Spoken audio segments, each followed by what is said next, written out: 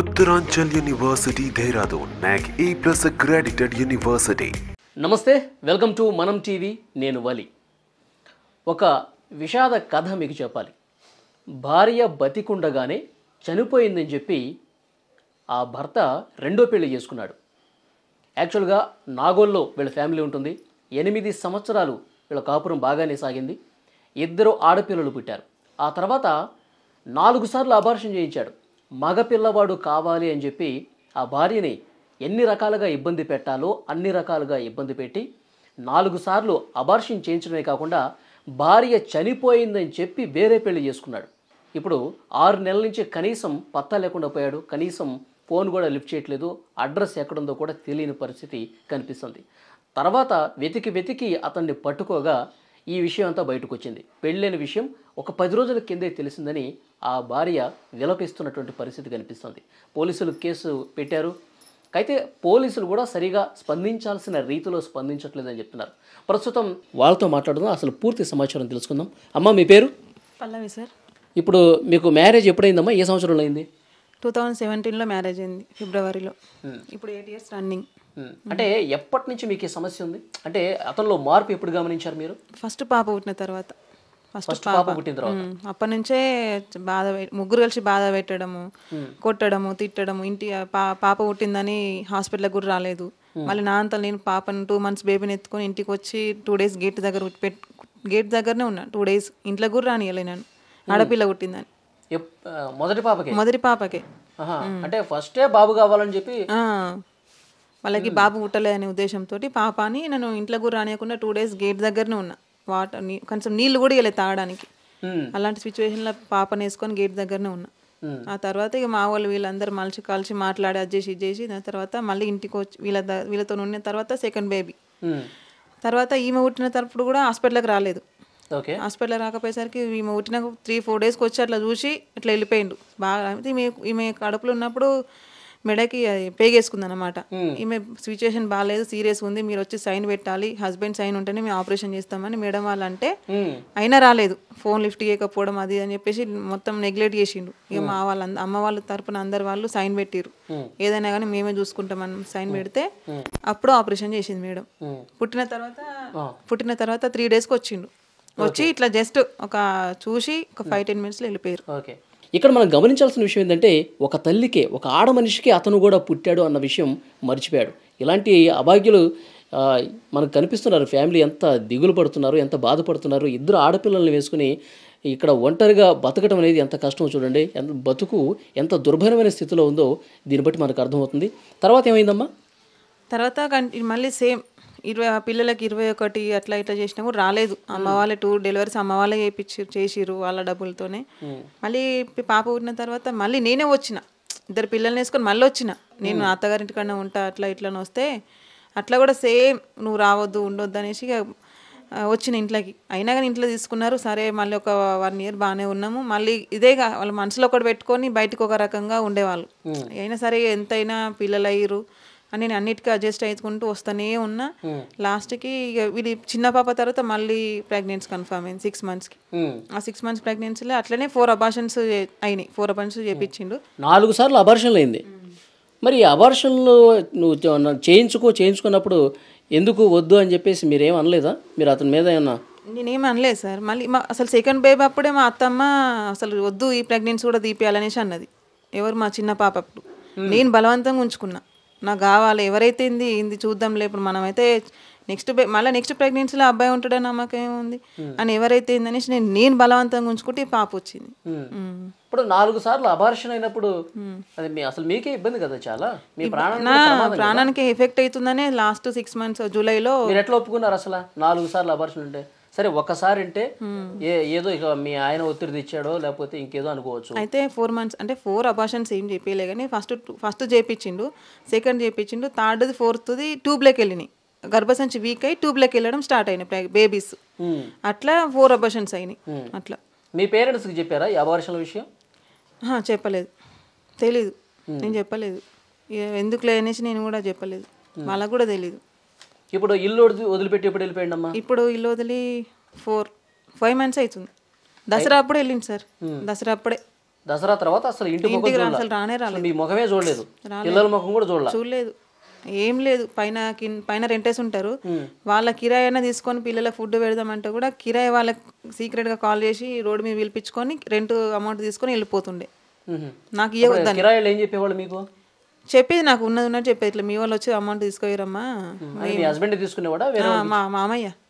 Okay. మా మామ మా ఆయన ఇద్దరు కలిసి వచ్చి తీసుకోవే తీసుకుపోయేవారట మ్మ్. దానికి ఇవ్వద్దు దానికి ఇస్తే మిమ్మల్ని ఇల్లు కాల్ చేపిస్తా అని వాళ్ళని బెదిరించిండట. నాకు అమౌంట్ ఇస్తే రెంట్ అమౌంట్ ఇస్తే. ఓకే. అది అయితే ఎప్పుడు ఇంట్లోకి వెళ్ళిపోవాలనే చూసిరు వాళ్ళు. నేను వెళ్ళలేదు. కావాలని నేను పోలేదు. ఎందుకు పోవాలి? ఎవరింట్లో ఎందుకు ఉంచుకుంటారు నన్ను? ఎవరు ఎవరు ఉంచుకుంటారు అసలు? ఇంటికి పెళ్ళి చేసుకొని ఇంటికి వచ్చి పిల్లలైనాక నన్ను ఎవరు ఉంచుకుంటారు? ఎవరు ఉంచుకోరు అనేసి నేను ఎంత టార్చర్ అయినా సరే అని అనుభవించుకుంటూ ఇక్కడే ఉన్నా. ఇప్పుడు కొన్ని నెలల నుంచి మీకు కాంటాక్ట్లో లేడు. మీ అసలు దగ్గరికి రావట్లేదు. ఇంటికి రావట్లేదు. మీరు కంప్లైంట్ ఇచ్చారా? ఇచ్చిన. అప్పుడు ఇట్లా రెంట్ వాళ్ళ కావాలని రెంట్ తీసుకోవడం అవి చేస్తుంటే నేను పోయి ఓఎన్స్ పిఎస్లో కంప్లైంట్ ఇచ్చిన. ఇస్తే వాళ్ళు పిలిపిస్తామని చెప్పేసి అన్నారు కానీ వాళ్ళు పిలిపేయలేదు నాకు చెప్పనే లేదు. నేను కూడా లైట్ తీసుకున్నా ఇక పోనీలే అని. అయితే అప్పుడు మీకున్న అనుమానం ఏంటి? ఇప్పుడు అంత ముందు నుంచి మీకు గొడవలు జరుగుతున్నాయి. అనుమానం ఏం లేకుండే నాకు. అనుమానం అంటే ఇంటికి ఎందుకు రావట్లేదు? అనిపించిందా మీకు? ఇంటికి ఎందుకు రావట్లేదు అని అడిగిన. చాలాసార్లు అడిగిన. ఎందుకంటే పని ఉంది నా మిషన్ ఉందండి ఫ్లెక్స్ మిషన్ పెట్టుకున్నాడని ఓకే. ఫ్లెక్స్ తీసేది ఉంది నైట్ టైంలో. నాకు లేట్ నైట్ అవుతున్నాయి. నైట్ టైంలో రావాల్సిన ఇబ్బంది అవుతుంది నాకు. పని ఉంది ఏదో ఒకటి ఇక. ఎలక్షన్స్లల్లో నామినేషన్ వేసిండు ఇబ్రహీంపట్నంలో. వీళ్ళ తాత. దాని చుట్టూ తిరగాల్సి వస్తుంది అని ఏదో అన్ని అబద్ధాలు చెప్పి ఓకే. రాకపోతుండే. నేను కూడా పట్టించుకోలేదు. ఇప్పుడు రెండో పెళ్ళి చేసుకున్నాడు అని చెప్తున్నారు. రెండో పెళ్ళి ఈ విషయం మీకు ఎప్పుడు తెలిసింది? రెండో పెళ్ళి చేసుకున్న విషయం నాకు ఫిఫ్టీన్ టెన్ డేస్ అవుతుంది అంతే. టెన్ డేస్ బ్యాక్ తెలిసింది. అది కూడా నాకు డౌట్ ఎందుకు వచ్చిందంటే ఫోర్ మంత్స్ నుంచి కాంటాక్ట్ బంద్ ఫోన్ చేస్తే ఫోన్ స్విచ్ ఆఫ్ ముగ్గురు ఫోన్ స్విచ్ ఆఫ్ పెట్టుకుంటారు. నేను ఇట్లా ఫోన్ చేసి రింగ్ అవుతుంది ఫస్ట్. మళ్ళీ second time ring switch off అని వస్తుంది. ఫోన్ స్విచ్ ఆఫ్ అసలు ఏంది ఎందుకు ఇస్తారు ఇట్లా అనేసి నాకు డౌట్ వచ్చింది. ఫోన్ స్విచ్ ఆఫ్ పెట్టుకునేది ఇంటికి వెళ్ళిన చాలాసార్లు ఇంటికి వెళ్తే చాలాసార్లు ఇంటికి వెళ్ళి పోయి వచ్చిన తర్వాత కూడా డోర్ లాక్ ఉంటుంది ఫస్ట్ డోర్ లాక్ ఉంటుంది. నేను అడిగి అడిగి కూడా వాళ్ళందరూ ఎంక్వైరీ చేస్తే వీళ్ళు నీ దగ్గరికి వస్తారు కదమ్మా అనేసి వాళ్ళు అంటారు ఆ గల్లోళ్ళు. నా దగ్గరికి ఎందుకు వస్తారు? నా దగ్గర ఉంటే బాగానే ఉండు. నేను వాళ్ళు ఉంటే నీ ఎందుకు వస్తాయి ఇక్కడికి? అంటే నీ దగ్గరికి అని చెప్పేసి వాళ్ళు త్రీ డేస్కి ఒకసారి ఎల్లో ఎటో వెళ్తున్నారని చెప్పి నాలుగు నెలల నుంచి ఇంటికి రావట్లేదు. ఇప్పుడు వేరే పెళ్ళి చేసుకున్నాడు. మీ పేరెంట్స్కి చెప్పారా? అసలు రావట్లేదు ఇటని? తెలుసు. చెప్పిన. అప్పుడు ఇట్లా వస్తలేడని చెప్పేసి చెప్తేనే అప్పటి నుంచి చూసుకునేది అమ్మ. మరి వస్తలేడు చూసుకుంటలేడు అంటేనే అప్పుడు చూసుకున్నాం చూసుకుంటుంది. తిని మాకు ఫుడ్ కానీ ఏదైనా. ఆమె ఇంతగానం చేస్తుంది ఒక ఆడ ఆమె అట్లా అట్లా ఒక రోజు అయితే ఎందుకు వస్తలేవని అడగనీకి వచ్చిర్రు తమ్ముడు అమ్మ ఇంటికి వస్తే అమ్మని కొట్టిండు తమ్మిని కొట్టిర్రు నాతో పాటు. వాళ్ళని కూడా కొట్టిర్రు నువ్వు మీరు ఎవరు అడగడానికి అనేసి. ఇక్కడనే కొట్టిర్రు చీర ఇప్పేసి కొట్టిండు మా అమ్మనైతే. చీర మొత్తం ఊడిపెట్టేట్టు కొట్టిండు. ఉమ్. అక్కడ అందరు చూసిరు ఏరియాలో. ఇప్పుడు వదిలేశాడు వేరే పెళ్ళి చేసుకున్నాడు. ఇప్పుడు ఈ విషయం మళ్ళీ కంప్లైంట్ చేశారా? అంతకుముందేమో కానీ రావట్లేదు ఇంటికి రావట్లేదు అని కంప్లైంట్ చేశారు పోలీసులకి. ఇప్పుడు రెండో పెళ్ళి చేసుకున్నాడని తెలిసింది కదా ఇప్పుడు మళ్ళీ పోలీసులు కలిసారా చేసిన సిద్దిపేటలో రెడ్ హ్యాండెడ్గా దొరికినప్పుడు నెక్స్ట్ డేనే అంతకుముందే ఎఫ్ఐఆర్ ఫైల్ చేయించిన ఇంటికి రావట్లేదని ఒక ten day five days back FIR file అయింది. అంటే ఎవిడెన్స్ ఇయ్య ముందుకు. అయితే ఇట్లా ఎవిడెన్స్ దొరికిన తర్వాత విత్ పెళ్ళి ఫోటోలు పట్టుకొని మళ్ళీ వెళ్ళిన. ఇక మేడం ఇట్లా పెళ్ళి చేసుకున్నాడు అని చెప్పేసి చూపించిన. చూపిస్తే సరే అమ్మ పిలిపిస్తా మాట్లాడదాం అనేసి మా ఆమె పెళ్ళి చేసుకున్న ఆమె ఏ- చెప్తుంది? ఆమె ఏమంటుంది నువ్వు చనిపోయినావు అని చెప్పేసి అన్నారని ఆ రోజు మేము రెడ్ హ్యాండెడ్గా దొరికిన రోజే చెప్పింది. ఇప్పుడేమో ఇప్పుడేమో అంత తెలిసి చేసుకున్నారనేసి కొంచెం లీక్ అయింది మ్యాటర్. అది నిజమా? ఆమెకి ఫస్ట్ మ్యారేజా రెండో మ్యారేజా? Third marriage. ఆమెకి? ఈ మా హస్బెండ్ తోని మూడో పెళ్ళట.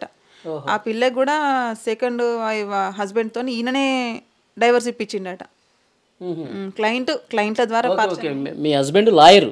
లాయర్ కాబట్టి ఆ క్లయింట్ రూపంలో అట్లా చేశాడు అనమాట క్లయింట్ అనేసి ఉద్దేశంతో ఎట్లైనా ఒక డైవర్స్ ఇప్పించి అదే ప్లేస్లో ఈయన వెళ్ళిండు. అట్లా. ఓన్లీ అబ్బాయి కావాలనే ఉద్దేశంతో పెళ్ళి చేసుకున్నాడు.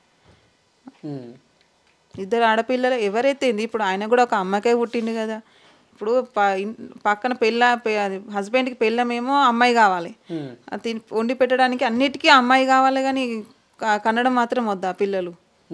ఖచ్చితంగా అబ్బాయి ఉడతారని రూల్ ఏముంది? ఇప్పుడు అమ్మాయిని పెళ్ళి చేసుకోగానే ఖచ్చితంగా ఉడతారని రూల్ ఏముంది అసలు? అంతే కదా? అది నా క్వశ్చన్ అయితే అది. మళ్ళీ చెట్ల మందులు తాగుతున్నారట ఇద్దరు కలిసి. చెట్ల మందులు తాగడం పత్యాలు చేయడం చేస్తున్నారట త్రీ మంత్స్ నుంచి. అదే సిద్దిపేట ఏరియాలో మందారం అనేది ఊరు ఉందట అక్కడికి వెళ్ళి చెట్ల మందులు కూడా తాగిరట. అంటే చెట్ల మంది అంటే దేనికోసం అబ్బాయి ఉట్టడానికి. అబ్బాయే ఉట్టడానికి చెట్ల మందులు తాగుతురట. నాకు కూడా థర్డ్ ప్రెగ్నెన్సీకో ఫోర్త్ ప్రెగ్నెన్సీకో నాకు కూడా తాపిచ్చిర్రు నేను కూడా తాగిన. అది ఫెయిల్ అయిపోయింది. పోలీసులు రియాక్షన్ అంటే ఏం చెప్తున్నారు వాళ్ళు? న్యాయం చేస్తామని చెప్పారా లేదా? ఏం లేదు పిలిపిస్తామంటారు ఇంతవరకు పిలిపిలే నేను రోజు నేను తిరుగుతున్నా పిహెచ్ చుట్టూ కానీ వాళ్ళు పిలిపించింది లేదు మాట్లాడింది లేదు కనీసం ఏం జరుగుతుందో కూడా ఇన్ఫర్మేషన్ లేదు.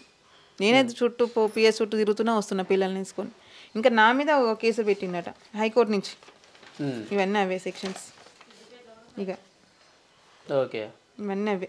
నేనేం చేసినా నా మీద కేసులు వేసిండన్న పోలీసులు పట్టించుకోవట్లేదని హైకోర్టు నుంచి పంపించింది ఇది. పోలీసు వాళ్ళకి. పట్టించుకుంటారా లేదని పోలీసు వాళ్ళని బెదిరిస్తుండే.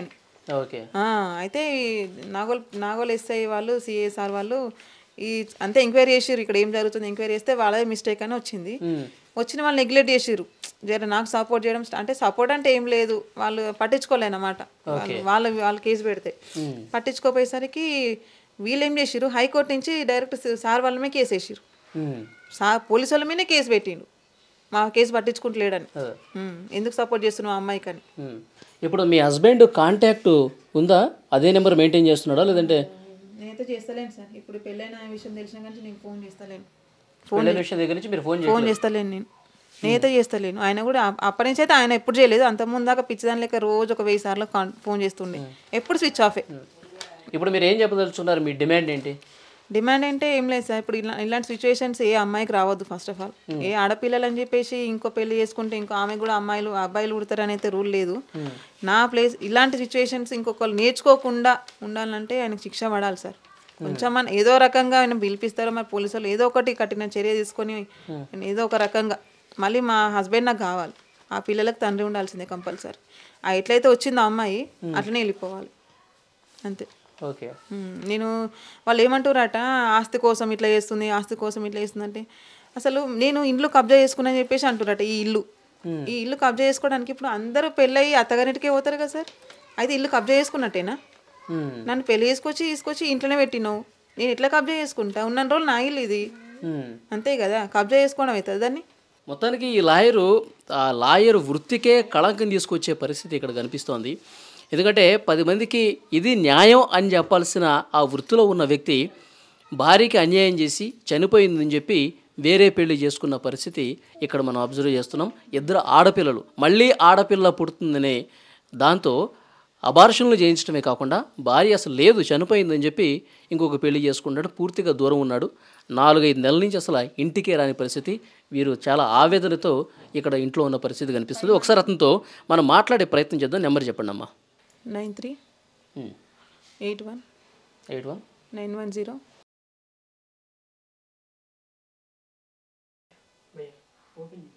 మీరు డయల్ చేస్తున్న నంబర్ ప్రస్తుతం బిజీగా ఉంది.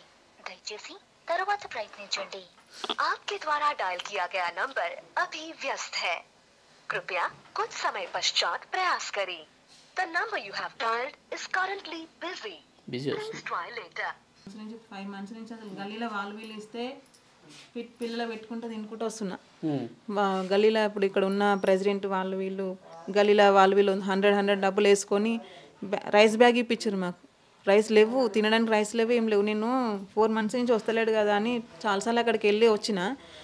తాళం వేసి ఉంది ఎప్పుడు వెళ్ళినా తాళం వేసి ఉంటే ఒక ట్వంటీ డేస్ బ్యాకే. పిల్లలకి నాకు ఫుల్ జ్వరం వచ్చింది. జ్వరం వస్తే సరేలే లేడు కదా అనేసి నేను అమ్మ వాళ్ళ ఇంటికి పోయినా. అమ్మ ఫోన్ చేస్తే నువ్వు రా ఇక్కడ చూపిస్తా అంటే నేను పోయిన నెక్స్ట్ డేనే వచ్చిరట వచ్చి తాళాలన్నీ వలగొట్టిరు ఇక్కడ. తాళాలన్నీ వలగొట్టి ఇంట్లోకి వెళ్ళి బంగారం. నేను ఇక్కడ ఉన్న బంగారం ఎత్తుకెళ్ళిండు. ఇంకోటి టీవీ. టీవీ కెమెరాస్ ఉండే. కెమెరా సెట్ సెట్ కెమెరాస్ ఎత్తుకెళ్ళిండు నాకున్న రేషన్ కానించి బియ్యం కానించి ఏది లేదు. అన్నీ తీసుకెళ్ళిండు. ఓన్లీ ఒక గ్యాస్ ఒక రెండు మూడు బాసనలు ఉన్నాయి. అంతే. ఇటు పెట్టి ఇది రావద్దు పోవాలి అనే ప్లాన్తోని అట్లా చేసిండు. మళ్ళీ ఒకసారి ప్రయత్నం చేద్దాం ఉండండి.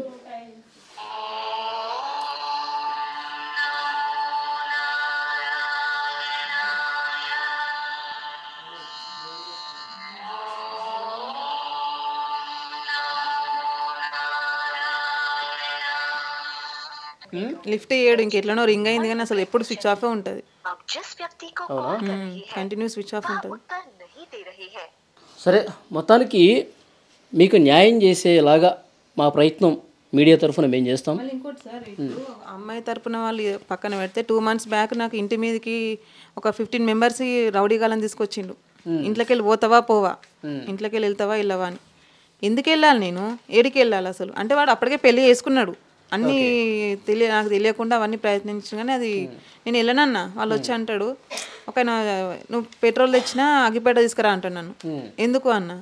నువ్వు ఉండొద్దు ఇంట్లో. వెళ్ళిపోవాలి. ఒక పదిహేను మందిని తీసుకొచ్చి గల్లీలో వాళ్ళందరూ బెదిరించి చూసారా? ఇట్లా రౌడీలను తీసుకొచ్చి బెదిరించే పరిస్థితి కనిపిస్తుంది. ఇక్కడ ఇంట్లో ఉండదు ఇల్లు నీది కాదు కబ్జా చేసావని చెప్పి ఇంట్లోంచి తరిమి కొట్టే ప్రయత్నం కూడా జరుగుతుంది. రెండో పెళ్ళి చేసుకున్నాడు భార్య చనిపోయిందని. తర్వాత ఇంటికి వచ్చి ఇక్కడి నుంచి వెళ్ళగొట్టే ప్రయత్నం కూడా జరుగుతుంది. పోలీసులు కంప్లైంట్ చేశారు. సో పోలీస్ శాఖ కూడా మనం టీవీ విజ్ఞప్తి చేస్తుంది. ఈ బాధితురాలికి న్యాయం చేయాల్సినటువంటి అవసరం కనిపిస్తుంది. ఆల్రెడీ ఉమెన్స్ పిఎస్లో కంప్లైంట్ ఇచ్చారు. ఇద్దరు ఆడపిల్లలు ఉన్నారు. ఇక్కడ ఒంటరిగా ఉంటోంది ఈమె. అని చెప్పి ఎవరెవరినో తీసుకొచ్చి రాత్రిపూట బెల్లు కొట్టి దౌర్జన్యానికి పాల్పడుతున్నారు. ఇక వీళ్ళ అమ్మగారు అలాగే వీళ్ళ తమ్ముడు కూడా కాపలా ఉండే పరిస్థితి. ఎందుకంటే ఏ క్షణాన్ని ఎవరొచ్చి కొడతారో అని ఒక భయంతో బిక్కు బిక్కుమంటూ ఇక్కడ కాలం గడుపుతున్న పరిస్థితి కనిపిస్తుంది. మేము కూడా మీరు ఎక్కడైతే కంప్లైంట్ చేశారో అక్కడ మళ్ళీసారి పోలీసులతో కూడా మేము మాట్లాడే ప్రయత్నం చేస్తాం. చేయండి సార్ ప్లీజ్. ఎందుకంటే నాకు కూడా న్యాయం జరగాలి. నాకు న్యాయం జరుగుతలేనే నేను మీడియా దాకా రావాల్సి వచ్చింది. వాళ్ళు కూర్చొని మాట్లాడదామంటే కూడా ఎలాంటి రెస్పాన్స్ అవ్వట్లేదు మా హస్బెండ్ వాళ్ళు. ఇంత జరిగినా కూడా ఏం తెలియనట్టు సైలెంట్గా ఉంటున్నారు వాళ్ళు. కొంచెం పిఎస్ పిఎస్ నుంచి వాళ్ళకి ఫోన్లు పోతున్నా పిఎస్ వాళ్ళకు కూడా రెస్పాండ్ అవ్వట్లేదు కదా. ఏమనంటే పోలీసు వాళ్ళు అట్లా సపోర్ట్ చేస్తున్నారు ఇట్లా సపోర్ట్ చేస్తున్నారు పోలీసు వాళ్ళకి హైకోర్టు నుంచి నోటీసులు వేయడము నాకు పంపించడము ఏమనంటే మీరు లాయరు జడ్జి నేను నన్ను ఎవరు ఏం చేయలేరు. నీ ఇష్టం ఉన్నా నువ్వు చేసుకో అనేసి ఒక ఒక రకంగా ఉన్నారు వాళ్ళు. నాకు కావాల్సింది నా పిల్లలకు నాకు న్యాయం జరగాలని కోరుకుంటున్నా సార్ నేను. ఓకే అమ్మా. మాట్లాడదాం మళ్ళీ. Thank you